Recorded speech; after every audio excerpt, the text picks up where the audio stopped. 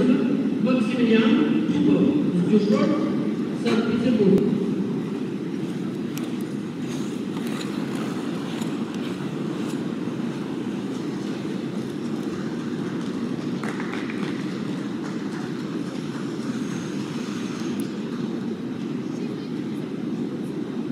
thank